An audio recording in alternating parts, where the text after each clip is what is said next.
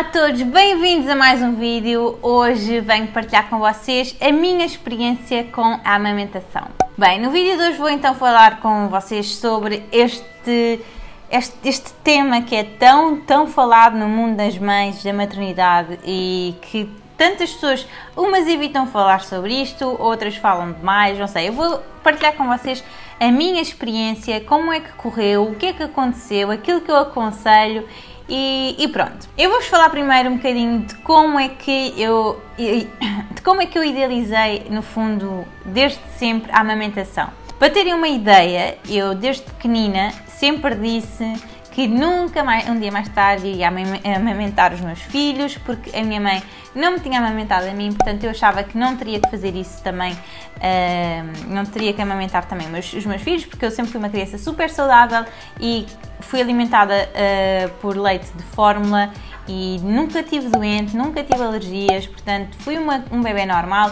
A minha mãe a única coisa que me diz é que realmente eu tinha muitas cólicas e, e, e pronto, mas isso tanto pode acontecer a um bebê que bebe leite de fórmula como um bebê que é alimentado pela mãe, portanto hum, é um bocadinho, quer dizer, pode acontecer a um ou a outro. Portanto, eu toda a minha adolescência e até há bem pouco tempo eu dizia que nunca iria amamentar os meus filhos Uh, queria optar sempre pelo leite de fórmula, primeiro porque tinha medo, não sabia, mas também não tinha assim, eh, depois também não tinha assim grande informação sobre isso, nunca tinha pesquisado muito, mas sempre ouvia dizer que a amamentação era um processo super difícil, super complicado, que hum, basicamente doía horrores e então eu sempre tive um bocadinho de medo. Ah, e depois também diziam que deixavam uh, as nossas maminhas ficavam descaídas e não, nunca mais voltavam a ser as mesmas, portanto foram todos estes fatores que me fizeram pensar sempre que eu nunca iria amamentar porque não queria amamentar. Uh, porque não queria passar por, por estes processos. Agora vou-vos contar uh, o porquê de ter mudado. Eu não sei mas assim que eu fiquei grávida, algo em mim mudou e deixou assim uma luz. Eu basicamente, assim que soube que estava grávida, eu disse logo, eu vou dar de mamar, obviamente, porque tem tantos benefícios para os nossos filhos que vocês não têm ideia. Eu vou deixar aqui um link para, no, na caixa de descrição para que vocês estejam a par de todos os benefícios de dar de mamar e é super importante incentivar, já que tenho tantos seguidores, incentivar-vos a amamentarem os vossos filhos sem medo, porque tudo isto são fases. Obviamente que eu não sou uma perita em amamentação, eu ainda estou, se querem saber, ainda estou a aprender porque nós nunca sabemos tudo. Por isso eu vou deixar aqui um link para que vocês consigam saber mais sobre os benefícios da amamentação. E outra coisa que eu quero deixar bem clara com este vídeo é que eu não quero que mulheres que não conseguem amamentar uh, não se sintam mal por causa disso. Uh, mesmo que, por não querer ou por uh, não conseguirem, vocês já vão perceber ao longo deste vídeo a história que eu vos vou contar da minha experiência aquilo que aconteceu comigo e vão perceber que às vezes não é fácil e que nos apetece mesmo desistir. Por isso, não se sintam mal, o mais importante é que nós sejamos mães felizes e bem connosco próprias para que os nossos filhos sintam que nós estamos bem. Uh, por isso, vocês não são felizes a amamentar, não amamentem, não forcem. Uh, mas pronto, bem. Mas basicamente desceu em mim uma súbita vontade de dar de mamar à, à minha futura ao meu bebê, porque eu ainda não sabia sequer se era rapaz ou era rapariga, portanto, logo desde o início da gravidez, isso ficou muito assente em mim, não foi, não foi o Gui que me pressionou, ninguém pressionou, eu disse, eu quero dar de mamar, eu quero uh, experimentar e logo se vê, se não correr bem, posso desistir, ou, ou o que seja, uh, mas logo se vê se não resultar, o que é que eu faço? Mas pelo menos tentar eu vou tentar. E assim foi, a Madalena nasceu e assim que ela nos é posta nos braços, depois, quando eu fui para, para o recobro, uh, perguntaram logo, a enfermeira perguntou-me se eu ia amamentar, eu disse que sim e foi logo o primeiro contacto. Eu amamentei logo a minha filha assim que ela nasceu. Uh, óbvio que nesta primeira fase, a primeira vez, uh, nós nem sequer produzimos leite, aquilo que nós temos é uma coisa que se chama colostro, que eu também não vos sei explicar muito bem o que é, não me perguntem pormenores técnicos, mas eu não sei o que é. E nesta primeira vez não dói nada. Aliás, o primeiro comentário que eu fiz com a enfermeira foi: Ah, mas isto não dói a amamentação não dói. Era a primeira vez, portanto, era normal que não doesse e não doeu realmente nada. Aliás, um, nos primeiros dois, três dias não deu nada. A Madalena era uma bebê super calminha, portanto, ela não acordava à meia da noite. Eu tive que pôr despertador logo nessa noite, assim que voltei para o quarto à meia-noite. Eh, eu tive que pôr despertador para ela poder, eh, para eu poder acordar para amamentar, porque ela não acordava. E ela amamentava de 3, eh, ela amamentava, ela comia de 3 em 3 horas. Um, e pronto, foi um processo normal. Ela normalmente ficava 20 minutos, 20 minutos em cada lado. Uh, ao início eu dei de um lado e depois do outro, acho que é para incentivar a subida do leite, não sei, mas foi assim que me foi explicado. Portanto, eu dava 20 minutos de um lado, 20 do outro, porque ela ficava mesmo muito tempo e o tempo depois também foi reduzindo. Isto foi no hospital, os primeiros dois dias correram super bem, nada me doía. Quando cheguei a casa é que foi uh, mais complicado. Primeiro dia em casa super tranquilo, segundo também, mas eu acho que foi mais ou menos no terceiro dia em casa, ou seja, no quinto dia da amamentação, que uh, comecei a sentir imensas dores. Uh, no quinto dia da amamentação uh, ficou, ficou, tudo gritado, uh, ficou mesmo, portanto, os mamilos ficam muito gritados. É normal que isso aconteça, aconteceu comigo. E aquilo que eu fiz, muito sinceramente, não, sem hesitar, houve um dia que eu fazia montes de caretas enquanto as primeiras vezes que ela puxava, os, os primeiros ou seja, assim que ela agarrava era uma dor horrível e depois a dor passava. Isto porque uh, mais tarde percebi que ela não sabia um, ehm, agarrar bem, não sabia fazer uma boa pega, acho que é assim que se chama.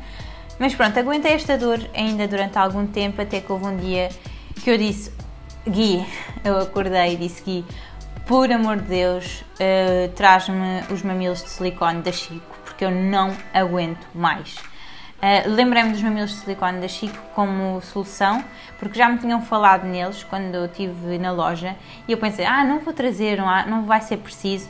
E realmente, assim que o Gui trouxe e eu os usei, foram a minha salvação para eu não desistir, porque senão eu provavelmente tinha desistido ali. Tanto que eu disse, Gui, ou vais buscar isso ou a criança não vai comer hoje. Óbvio que eu não ia fazer isso, mas estão a perceber, o desespero é tanto que, hum, que nós achamos que o mundo vai acabar. Os mamilos de silicone, eu vou deixar também o link na caixa de descrição, vou deixar aqui uma imagem dos mamilos de silicone, porque não os tenho aqui. Uh, eles são ótimos, eu tive dois, uns são mais antigos que outros e eu recomendo mais uh, a versão nova porque são muito fininhos, uh, põe-se super bem e isto vai-vos ajudar imenso. Então eu usei estes mamilos de silicone Uh, mais ou menos durante uma ou duas semanas até que os meus mamilos verdadeiros ficassem bons até que recuperassem na totalidade. Pus muito creme, eu usei muito o, um creme próprio para os, para os mamilos. É preciso terem atenção o creme que vocês usam, porque o bebê depois não pode comer uh, muitos dos cremes, não é? Por isso tenham atenção ao creme que vocês vão usar. Uh, mas basicamente estes mamilos salvaram uma vida e quando fui fazer o teste do pezinho, a enfermeira ajudou-me bastante na pega e explicou-me que ela tem que abrir mesmo bem a boca e não ficar só, uh, portanto, na ponta do mamilo, mas sim agarrar tudo. E eu não sabia, portanto, uh, foi uma novidade para mim. E assim que ela me explicou, eu larguei os mamilos de silicone e consegui dar na mar normalmente. Passar esta fase, ou seja, foi primeiro, os primeiros 15 dias, passou esta fase problemática e então, uh, não foi os primeiros 15 dias, aliás, eu tive a subida do leite Sim, eu tive a subida do leite mais ou menos uma semana depois de voltar da maternidade e já usava os mamilos de silicone. A subida do leite não me doeu nada, não me deu febre. Se lembro-me apenas que à meia da noite tive um arrepio de frio gigante. Eu durante a noite comecei a tremer, a tremer, a tremer, a tremer, a tremer de frio. Pedi ao Gui uma camisola e no dia a seguir acordei com umas maminhas enormes e deduzo que isso tenha sido a subida do leite aconteceu, eu, para aliviar e para não criar mastites, nem nós, nem nada, um, aquilo que eu comecei, que eu pensei e que me aconselharam a fazer foi no duche passar com o chuveiro um, para ver se acalma. Só que eu sentia que basicamente só acalmava quando a bebê mamava, ou seja, quando o peito esvaziava. Foi então que eu comecei a usar a bomba tira leite elétrica, que basicamente me ajudou bastante, porque ela tem várias faces, tem a face de estimulação com uma velocidade mais rápida, uh, que acaba por ajudar a produção do leite, e só dois minutos depois é que passa para a modalidade de extração, com uma velocidade mais lenta e maior intensidade. Ela é super confortável e muito intuitiva. Ajudou-me imenso a não ficar com as maminhas cheias, ou, tipo pedra, Portanto, a retirada do leite para mim foi super importante para que a produção continuasse de forma equilibrada. Ao fim de um mês e meio, eu já estava super cansada porque durante a noite o Gui não pode, eh, não lhe dava de mamar, deu uma vez ou outra, eh, mas era sempre eu que acordava e sou sempre eu que acordo à meia da noite para lhe dar de mamar porque prefiro que ela mame do que se habitue ao biberon. Tinha medo que ela se habituasse ao biberon, que é muito mais fácil deles jogarem e não, quis, e não quisesse mais uh, mamar. Portanto, uh, retirei sempre o, o era sempre em caso de eu não estar em casa ou assim, deixava o leite que tirava com a bomba ao Gui. Um, mas pronto, obviamente que tive alturas que me apeteceu desistir mesmo, ao ponto de eu dizer, uh, comentar com a minha mãe, com uma amiga minha sobre uh, deixar de amamentar porque estava muito, muito cansada. Uh, nós basicamente passamos o dia esquerda, direita, esquerda, direita, torna-se muito cansativo, consome-nos imenso a nossa energia, o nosso tempo, uh, porque não conseguimos fazer mais nada enquanto estamos a dar de mamar, não é? era aquilo que eu estava a dizer no início do vídeo. O mais importante é nós estarmos bem mentalmente para os nossos filhos e conseguirmos fazer coisas. Eu só vou dar até aos 4 meses porque, como, como vos digo, uh, quem tem licença de maternidade de 6 meses, eu percebo hoje em dia o porquê da licença de maternidade de 6 meses. É realmente muito importante para estimular mais a amamentação, mas eu sendo dona de mim mesma, ou seja, eu tendo a minha própria empresa e sendo a minha própria patroa, Uh, eu não consigo ficar seis meses em casa a dar de mamar à minha filha, por mais que eu queira. Um, por mais que eu queira, sim, se eu não tivesse tantas outras preocupações, provavelmente eu conseguiria até aos seis meses ficasse de baixo em casa, obviamente que sim. Uh, quer dizer, não sei, se calhar não, mas pronto, à partida eu acho que conseguiria se ficasse em casa seis meses só a cuidar da minha filha, mas não é o caso e eu já me sinto super bem por ir até aos quatro meses, porque mais do que isso eu não consigo. E depois dos 4 meses o pediatra disse que eh, aí então já conseguíamos introduzir as papas, o que é ótimo. Uh, assim liberta-me um bocadinho mais, em vez de dar 8 uh, vezes, dou mais que 8 vezes, sei lá quantas vezes dou, dou mais ou menos 9 vezes ou 10 vezes de mamar por dia, portanto é imenso.